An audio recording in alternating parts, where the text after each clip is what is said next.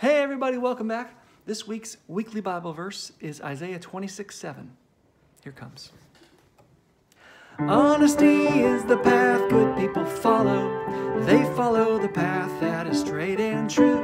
And God, you make your way smooth and easy to follow. Isaiah 26 7. There you go.